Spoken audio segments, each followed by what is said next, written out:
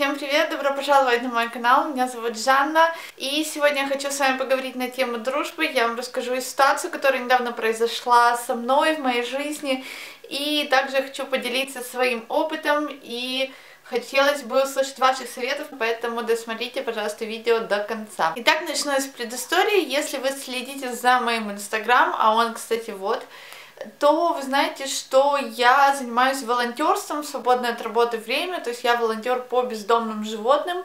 Что означает волонтер? Волонтер это человек, который занимается бездомным животным и который находит ему дом, то есть забирает его с улицы, помещает в клинику, вылечивает и находит ему любящие ручки. И так такой деятельностью я занимаюсь уже больше года, и честно вам скажу, она мне доставляет неимоверное удовольствие. Я люблю помогать бездомным животным. Безусловно, есть подписчики, которые помогают финансово, за что ему огромное спасибо да, на лечение бездомных животных.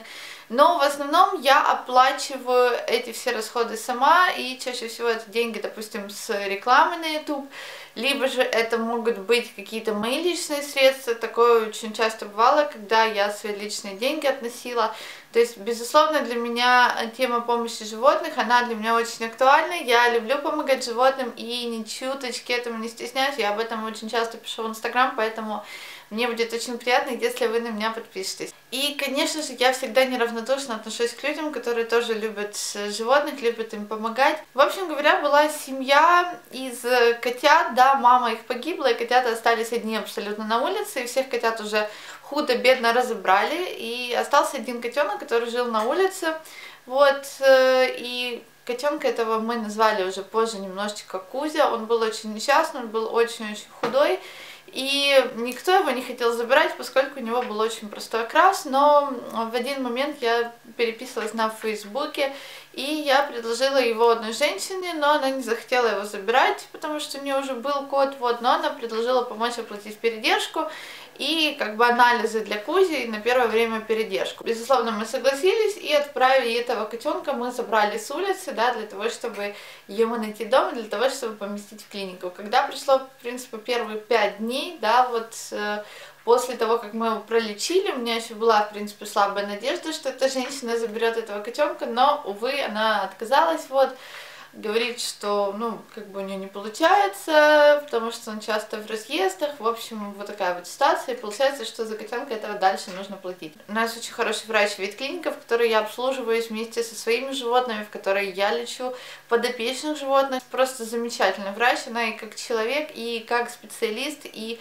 очень часто она волонтером, то бишь нам, которых она очень хорошо знает, да, она очень часто идет на уступки, и частично она нам позволяет как бы в долг один день пребывания котенка в клинике, это по нашей договоренности, да, стоит 50 гривен в сутки. Соответственно, в месяц это набегает около полторы тысячи гривен только за передержку. Также еще отдельно, ну, нами покупается корм, отдельно мокрый корм, влажный корм и, эм, безусловно, отдельно медикаменты. Но очень часто бывает, что нашему врачу, спасибо ей большое, она лечит бесплатно наших животных, вот, если у нее есть как бы те лекарства, да, которые она может э, ну, позволит, так сказать, пожертвовать, вот, то она лечит бездомыша бесплатно. И за деньги чаще всего покупается только корм и, конечно же, оплачивается передержка, то бишь работа врача. То, что котенок сыт, здоров в клинике, то, что за ним убирают сотрудники клиники, это все тоже стоит денег, и это соответствующе оплачивается. Но помимо того, что на тот момент был котенок Кузя, также еще был котенок Боня.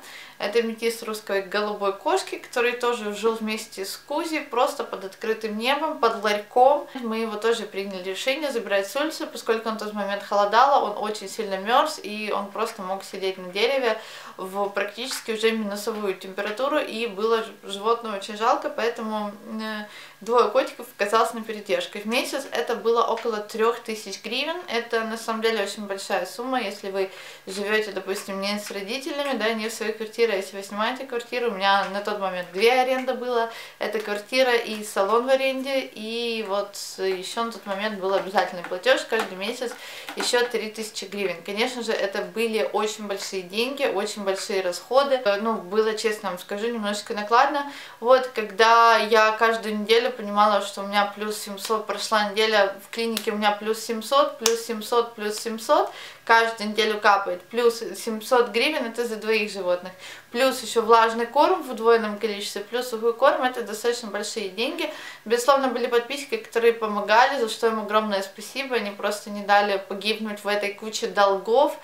И большое спасибо, конечно же, нашему врачу Ирине, которая идет на уступки всегда и которая вот э, понимает всю эту ситуацию, она позволяет это, так сказать, в рассрочку платить, то есть расплачиваться частями, да, потому что там в один момент он набегал долг, по-моему, около двух или двух с половиной тысяч гривен. Вот и мы потом постепенно этот долг погашали. Когда ситуация оказалась катастрофической и в клинике было двое животных на пристройстве, на тот момент у меня не совсем гладко шли дела, и я понимала, что животные на пристройстве, да, они, безусловно, назад уже на улицу не пойдут, и если я уже взялась ответственность их курировать, я должна их довести до своего логического завершения, да, то бишь до того момента, пока им найдется дом.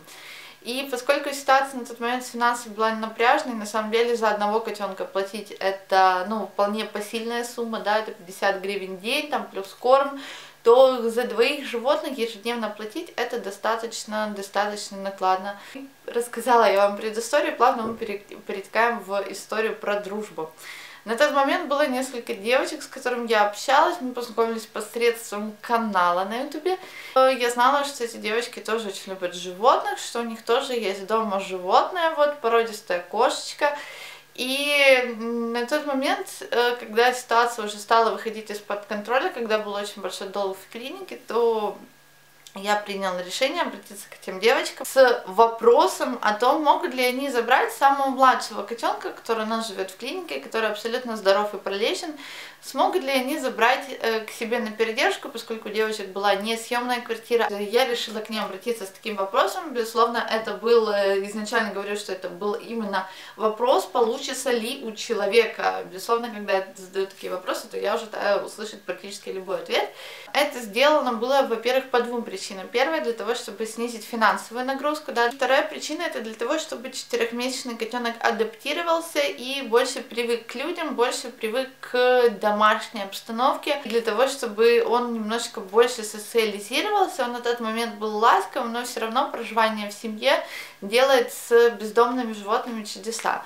И, конечно же, социализация это очень важная часть перестройства. И девочки согласились взять это животное на передержку, вот, для того, чтобы передерживать их на застекленном балконе. Это была прекрасная новость, и я такая воодушевленная дурочка на тот момент. Я была очень рада, что они согласились. Девочки жили на другом конце города. Э, от меня так это вообще просто другой конец города. Соответственно, для того, чтобы у котенка все было, э, был куплен лоточек, был куплен наполнитель, были потрачены деньги на такси, потом мы еще корм купили, и, в общем, всякие такие мелочи. И, в общем, котенок им был привезен, доставлен, они к нему, конечно же, с большим позитивом вначале отнеслись, все было хорошо, у меня вот душа была спокойна, что это животное, я его буду активно пиарить в социальных сетях, и пока он будет искать дом, то девочки смогут его поддержать, сможет он с ним пожить, и я вот на этих радостях, я даже влог записала о том, как Кузя едет на передержку, мне было очень радостно, очень тепло на душе, что появились такие люди, да, с которыми я общалась на тот момент, с которыми я на тот момент дружила очень тесно, и мне было очень приятно, что такие люди согласились. Потом я даже видела, что они выставляли э, фотографии в социальных сетях с этим котенком. Ну, в общем, мне было действительно очень приятно, что котенок находится в домашней атмосфере. Безусловно, я то, что не согласились взять котенка, и дальше я его планировала перестраивать. Котенком все было хорошо у девочек, они выставляли фото в Инстаграм. Потом наступает такой момент, э, что к одной из девочек приходит э, старшая сестра, смотрит на этого котенка, который там живет, и говорит, она на него посмотрела, сказала, что это больной котенок, что у него лишай, хотя это не так, и котенок до этого был обследован в клинике. Она сказала, что это котенок с улицы, и зачем он им нужен, потому что у них есть породистая кошка. Она сказала, что этот котенок больной, вообще чем вы занимаетесь? Такого котенка вообще не пристроить, и, не знаю, может быть, из-за его обычного окраса, хотя я считаю, что не окрас главное, не порода, а главное, какое животное по характеру. Я лично никогда не смотрю на окрас, и я никогда лично не смотрю, там, породистое животное или нет. Но это ладно, конечно, все люди разные, и этот момент мы упустим. И, конечно же, девочки после ее прихода, они начинают названивать нам и названивать и говорить о том, что котенок больной. И, в общем говоря, звонит одна из девочек и говорит, а ты знала, что у Кузи лишай?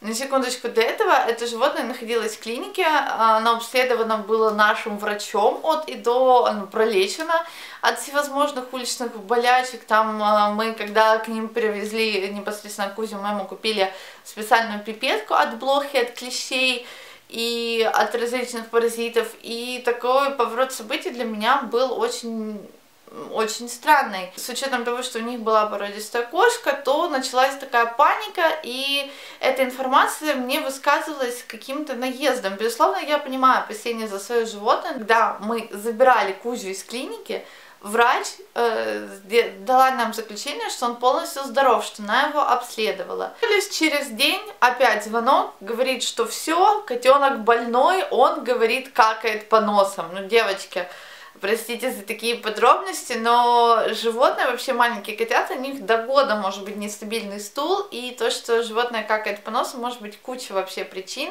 Тысяча этому может быть причин. Первое это то, что может не подходить корм, да, потому что девочки кормили своим каким-то супернатуральным кормом вот для животных. Второе это то, что животное от стресса, потому что мы ехали через весь город. И в первое время в адаптации, да, животное может стрессовать, из-за этого у него может, э, ну, нарушаться стул, в этом нет ничего такого катастрофичного. Если у человека, простите, понос, это не значит, что он вообще неизлечимо болен. Звонит одна из девочек и говорит, в общем, котенок тут пукает, у него газы, он нам сейчас все стены дома пропукает. И, в общем, начали они уже звонить и говорить про этого котенка с таким негативом. Поначалу, конечно, я пыталась успокаивать, мы пытались успокаивать их говорить, что все нормально, что ничего этом страшного нет, потому что котенок там может как-то жидко сходить в туалет. И мы позвонили нашему врачу, она сказала, какое лекарство купить, и мы вроде как договорились о том, что мы передадим это лекарство. Ну вот, и поскольку на тот момент я много работала, не было возможности съездить девочкам на другой конец города и передать лекарство. На пару дней было затишье, вот, но потом опять начались звонки, и какой-то вот такой вообще, знаете, негатив, что сестра им сказала, что этого котенка вообще нереально пристроить, а что будет, если не найдутся хозяева. На самом деле мы представим животных и больших, и маленьких, и всегда есть возможность найти хороших хозяев, хороший дом, просто есть вопрос времени, да, и с девочками, когда мы им переносили на передержку, мы говорили о том, что мы ищем хозяев, и что, возможно, займет какое-то время, да, хозяева не за день, не за два, не за три, даже за, за неделю не находятся, и что поиск хозяев займет какой-то определенный период. Когда уже продолжились звонки, и в этих звонках выражался реально вот негатив к этому котенку, а вот у нас породистая кошка, а что с ней будет, и бла-бла-бла, но животное было, когда уезжало из клиники, оно было полностью здоровым. Потом уже нам начали рассказывать, что там есть какой-то мифический лишай, хотя его не было. И вот такого вот рода информации, знаете, про бездомного котенка, который, блин, жил пол своей жизни на улице в холоде, но он реально не заслуживал того негатива и той вообще э, ужасной ситуации, в которую он попал, и уже начали как бы закрадываться мысли, что девочки на волне этого негатива, на волне этого страха, потому что старшая сестра одной из них напугала его, что они возьмут и его куда-то вынесут, выкинут, либо еще что-то с ним сделают, поэтому было принято решение после очередного звонка, мы забираем животное назад в клинику, я сорвалась с работы, э, поехала на такси на другой конец города, э, забрала этого котенка, котенка вынесли, одна из девочек вторая не вышла, котенок просто там вообще неизлечимо болен, его вообще нереально пристроить. И вышла эта девочка и просто отдала котенка и сказала, что вот мы нашу кошку сейчас повезем срочно к ветеринару, потому что ваш там котенок а чуть ли неизлечимо болен лишаем. Вот, ну вот такого порядка негатив, то есть э, они кто-то им, им, им им сказали, что есть у котенка лишай, они поверили, хотя, ну, был специалист, который смотрел вот этого котенка, и он говорил, что лишая нет. Простите, если у ребенка будет лишай, то что его в детдом сразу отдавать или что? Ну, даже если бы он был, делят на Э, породистых и не породистых. Если это котенок с улицы, то можно с ним вот так вот э, обращаться. Но за это время мы, ну, за это время, пока вся эта ситуация происходила, было очень много переписок, было очень много звонков. Э, я со своей стороны пыталась убедить и сказать, что все хорошо, но моему терпению тоже пришел конец, да, и изначально в этой ситуации я хотела как лучше, я хотела, чтобы котенок адаптировался для того, чтобы он пожил в каком-то семейном кругу, в семейной поддержке, но, как видите, это не судьба. После этого, да, когда я написала про эту ситуацию в Инстаграме, просто с матами, полилась такая грязь в Инстаграме, когда я написала, при том, что я написала без имен, при том, что я написала просто про эту ситуацию, да, я не говорила, что там девочки плохие, либо что девочки в чем-то виноваты, я не говорила, и по-прежнему я это не говорю, я просто написала о том, что произошла такая ситуация, дали на передержку, нам вернули, поскольку котенок пукает, да, то есть все, что их смущало, это что котенок пукает, и что якобы он пропукает вообще квартиру. Честно, ну я сейчас сижу, рассказываю это, мне смешно такое слышать, что кто-то может пропукать. А как люди, простите, в туалет ходят? Вообще, на самом деле, без комментариев, да, и точно так же написала в Инстаграм эту всю ситуацию. Сколько девочки были подписаны на меня, то началась вообще вот такая вот всякая грязь, и начали писать в комментариях, что мы там зарабатываем на животных, жмите животное, поместите его в клинику, найдите ему хозяев, Прекрасно, я вообще буду только вообще рада, если все так будут якобы зарабатывать. А, манипуляции, да, которые достаточно дорогостоящие в клинике, да, передержку, гостиницу чаще всего оплачиваются на 80%, это из собственного кармана, вот, и 20% это то, что могут помочь подписчики, за что им очень-очень большая благодарность. Также я э, все деньги, которые получаю с рекламы на YouTube, и все деньги с рекламы на YouTube, они также идут на оплату передержек бездомных животных. Поэтому рассказывать о том, что кто-то тут что-то зарабатывает, это очень глупо. И, в общем, полилась такая вся грязь, типа, а вы знаете, что они отдают больных животных и так далее. Хотя то, что они говорили, что если якобы лишаешь, что якобы котенок пукает. В общем, они уже там в интернете вычитали всякие страшилки, что это чуть ли нереально пуканье и лиша это просто смертельная болезнь. И когда мы позвонили врачу нашему и рассказали всю эту ситуацию, то врач говорит, что нужно понимать, что, конечно же, котенок же он с улицы, а не с салона красоты. Э, как сказала наш врач. И, конечно же, у него могут быть какие-то нюансы, он может привыкать к новому питанию, да, он может привыкать к людям, у него может быть стресс первое время. Это абсолютно нормально, что у животных вот может быть жидкий стул, и в этом нет ничего такого. Точно так же говорит, что если там есть где-то блохи, либо еще какой-то такой нюанс, что это абсолютно излечимо, и ничего в этом страшного нет. Через две недели, в общем, котенок оказался опять в клинике, и эта ситуация я бы просто забыла, и дальше бы я даже, если честно, и не снимала бы видео, если бы не одно но.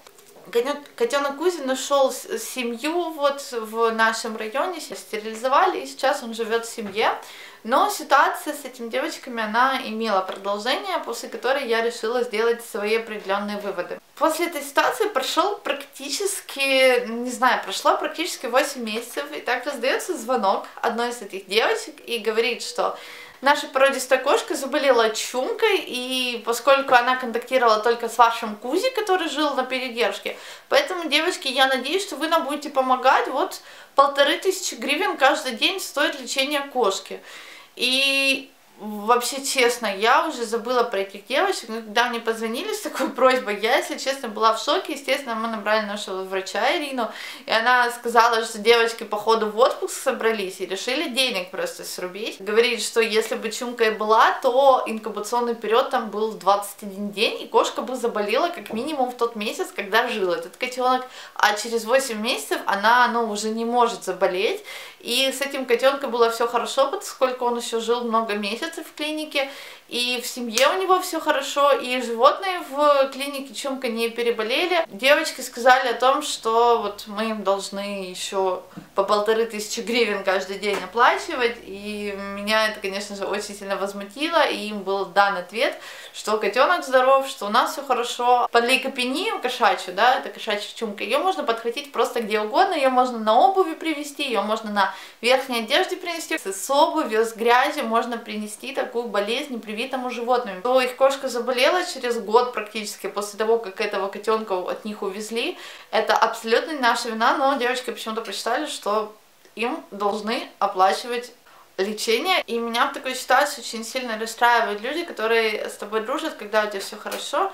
Они с тобой дружат из-за определенного социального статуса, но как только требуется твоя помощь и требуются какие-то реальные действия, да, э, в подтверждение этой дружбы, то дружба очень и очень быстро заканчивается. Как-то мысли э, на них сердиться и так далее. Ну, вернули и вернули. Это дело добровольное, и никто котенка Кузю не просила них оставлять на всю жизнь, но э, после того, как они начали писать такой негатив в Инстаграме, потом его же удалять, после того, как начали там с матами что-то писать и так далее, то я просто сделала вывод о том, что э, сейчас очень редко на самом деле можно встретить людей, которые, во-первых, искренне любят животных, да, и которые, и которые думают своей головой и не думают головой чужих людей, которые живут своими собственными мыслями и не ориентируется ни на кого, потому что для меня самое ужасное вообще в этой всей истории в том, что пострадало просто животное, которое э, туда-сюда, туда-сюда, назад вот так вот возили, и что сейчас очень тяжело, в принципе, во взрослом возрасте, да,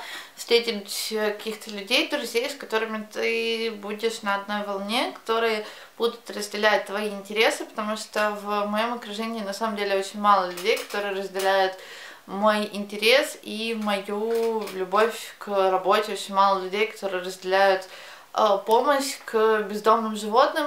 В очередной раз для меня это урок сделать вывод о том, какое окружение мне подходит или нет. По поводу дружбы, то я могу сказать, что большинство людей э, в наше время почему-то готовы дружить просто когда им удобно, готовы дружить ради социального статуса, ради каких-то допов, вот, которые могут получить от друзей, но как только нужна реальная помощь и нужны реальные действия, то этого абсолютно нет. И я, если честно, я очень была разочарована в том, что вместо того, чтобы как-то мирно решить эту ситуацию, эта ситуация решилась вот таким вот образом. Я очень рада, что нет таких людей в моем окружении, да, которые э, так себя ведут, и, наверное, я рада, что случилась эта ситуация, потому что человек мог представить в каком-то другом моменте, да, в каком-то другом решении, и очень многие люди рассказывают про свою бездомную, безграничную любовь к бездомным животным, но когда есть реальная возможность э, помогать животным, то чаще всего это просто ограничивается на словах. И есть прекрасная фраза, с которой я согласна просто на сто процентов, что лучше маленькая помощь, чем большое сочувствие. В данный момент я сделала вывод о том, что дружба — это такая вещь, которая, мне кажется, она зарождается в школьном возрасте, да, в институтские годы, но чем старше ты становишься, да, то тем э, сложнее, в принципе, найти в своем окружении друзей, тем сложнее найти в своем окружении людей, с которыми ты действительно будешь близок по духу.